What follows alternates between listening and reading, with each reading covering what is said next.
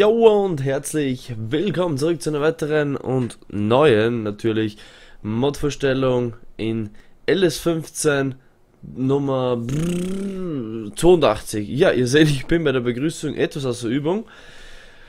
Ist schon eine Weile her, die letzte Modvorstellung. Aber ich dachte mir, ich warte und warte und warte, wenn was kommt, was mir äh, alles cool und fein erscheint und auch von den Bewertungen her auf alle Fälle, hm, ich würde mal sagen, zeigbar ist, dann mache ich wieder ein Video. Und heute ist es nun soweit. Schön, dass ihr hier beim neuen Video mit dabei seid. Ähm, was haben wir hier? Und zwar eine äh, Scheibenecke, glaube ich, ist, glaube ich, ist das. Ja, also gehört in die Kategorie Gruber beim LS15. Und ich würde sagen, wir starten da, wo alles beginnt, und zwar im Shop. Da, ähm, unter. Ähm, nein, einmal zu viel geklickt. Kategorie Mods, hier sind wir zu Hause. So, LS15, ihr merkt, da bin ich jetzt gerade ein bisschen am Schwitzen. Ah, nun gut, Grubber und hier Marcio Presto 600. Klingt irgendwie italienisch, wenn ihr mich fragt. Ich weiß leider nicht, ob der Hersteller tatsächlich aus Italien ist. Keine Ahnung, ich kenne die Marke nicht. Aber lassen wir uns überraschen. Auf alle Fälle Bild plus Logo sind mal schön. Preis, ja, sieht vernünftig aus. Arbeitsbreite, bei einer Arbeitsbreite von 6 Metern benötigen wir 240 PS. Ich nehme jetzt einfach mal als Vergleich, weil er hier mir ins Auge sticht, der kämpft Chiefmaster, der hat Arbeitsbreite 9 Meter. Okay, gut, das ist ein schlechter Vergleich. Ich brauche es mit 6 Meter, 8 Meter, ähm, hallo, 6 Meter, 5 Meter, 180. Ja, hier haben wir 6 Meter 80 Breite als Vergleich eben und brauchen 280 PS. Okay, ja, gut, alles klar, lässt sich natürlich damit leben, keine Frage. Aber mit einem Gruber kann man Felder für die nächste Saat vorbereiten. Gut, ich würde sagen, Shop, alles klar, passt. Preis auf alle Fälle äh, gut, würde ich jetzt mal sagen, weil ich sehe selber, mein gut, Federstadt ist jetzt ähm, natürlich das Top-Modell, die Königsliga quasi unter den Grubern, was ich so in, im Kopf habe, jetzt ohne prahlen zu wollen und jetzt eine Marke zu favorisieren. Uh, okay, passt. Shop, lassen wir mal gut sein. Alles klar, alles super, alles easy.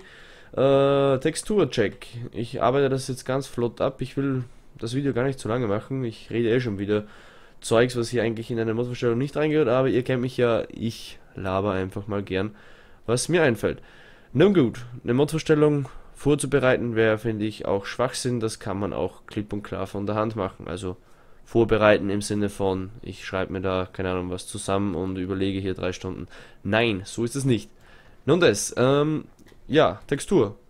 Typische LS15 Glanz würde ich jetzt sagen, ob, mir kommt es vielleicht ein Tick viel vor.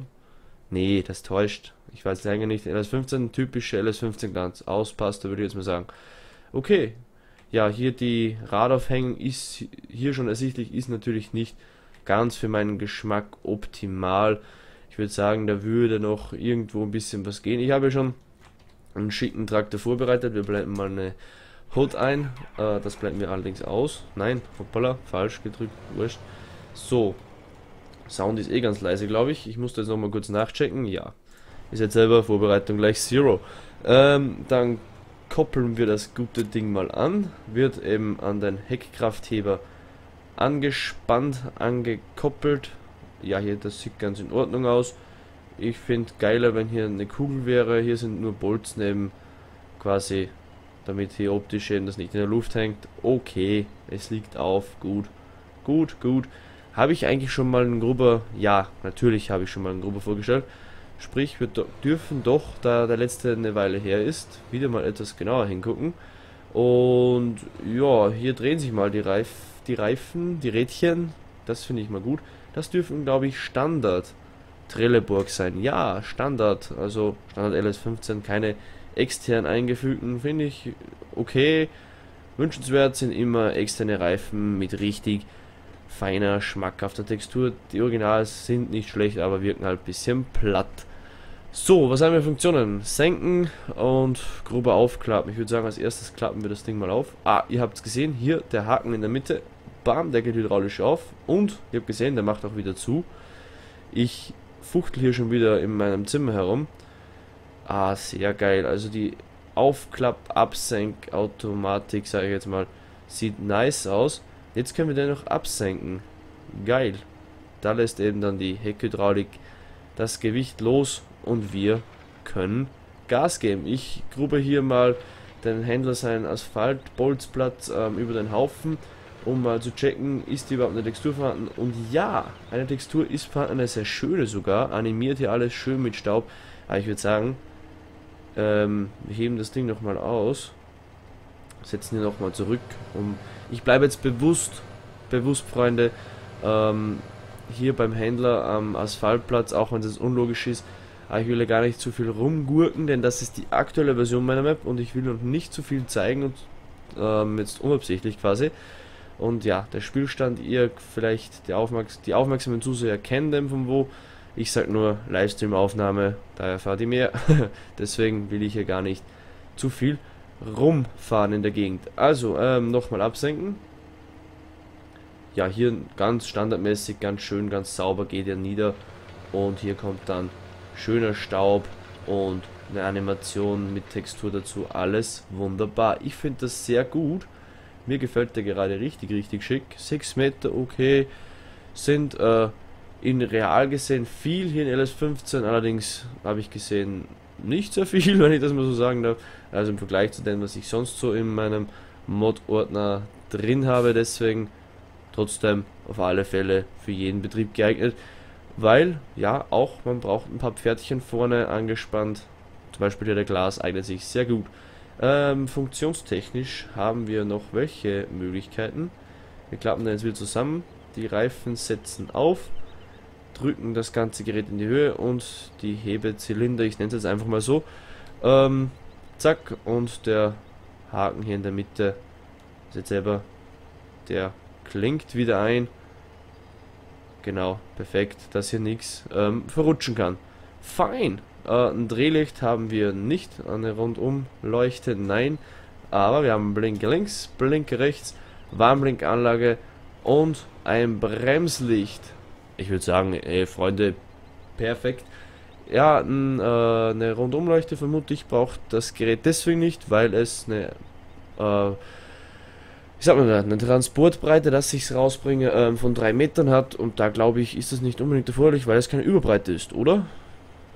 Korrigiert mich, wenn ich falsch liege. Also wenn wir jetzt realistisch denken und das umlegen auf unsere schöne, schicke, reale Welt. Auf alle Fälle, top von mir, eine klare Download-Empfehlung. Um, ja, die Zinken hier sind vielleicht, ich steige jetzt auch mal aus, ich will jetzt gar nicht vorschnell schießen. Die Zinken hier sehen vielleicht ein bisschen, ja, die könnten spitzer sein quasi, ein bisschen schöner, noch ausgemodert. Wie gesagt, da gibt es halt immer wieder, ich klappe den jetzt nochmal auf. Da gibt es halt immer wieder Kleinigkeiten, wo ich sagen kann, okay, da kann man sich schon nochmal ransetzen. Aber auf alle Fälle äh, da habe ich jetzt gar nicht geguckt. Drehen sich auch alle Räder? Ja, hier dreht sich alles, die Scheiben eng, dann die Walzen hinten. Richtig, richtig fein. Ähm, okay. Lässig, würde ich mal sagen. Wir leuchten das Ding nochmal an. Okay, es zerfällt nicht zu Staub, also es ist keine Vampirmaschine, nein, Spaß. Äh, der kam aber flach. Ah, hier haben wir auch noch Lichter, das heißt, hier haben wir auch noch Blinker, jawohl. Vorne auch, ist jetzt selber nicht nur rückseitig, sondern hier auch. Ich weiß, die Kameraführung im LS15 wünschte ich manchmal wäre frei. Gut, in dem Sinne sind wir durch. Letzter Check, last but not least, die Log. Ähm, dun, dun, dun, hier haben wir. Warte mal. Moment. Marcio Presto. Hier haben wir das gekauft. Okay, das darüber geht uns nichts an. Das ist vom Cosplay mein Standardfehler. uh, Arrow can't load resource. Okay, keine Ahnung, ist nicht weit irgendwie beschrieben. Jetzt weiß ich nicht, ich habe einige Mods drin, jetzt weiß ich nicht, ob das von diesem Mod kommt. Aber ich behaupte, nein, der kommt nicht direkt von dem Magio Presto 600. In dem Sinne, auf alle Fälle, hier steht V1.1, okay. Ich dachte, das ist die V1, alles klar. Auf alle Fälle von mir eine Download-Empfehlung, Freunde, da könnt ihr mit ruhigem Gewissen eure Felder bearbeiten und sonstigen Unfug damit anfangen. Auf alle Fälle Fahrt vorsichtig und ich würde sagen, bis zum nächsten Video. Ich bin raus. Tschüss, ciao und bye bye.